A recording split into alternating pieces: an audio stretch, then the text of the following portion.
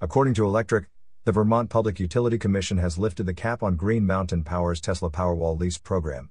Green Mountain Power is Vermont's largest electric utility and has been offering Tesla's Powerwall batteries since 2015. The program was previously limited to 500 customers annually, but with the cap lifted, it's now available to over 270,000 customers. Customers can lease two Tesla Powerwall batteries for $55 per month or pay $5,500 upfront.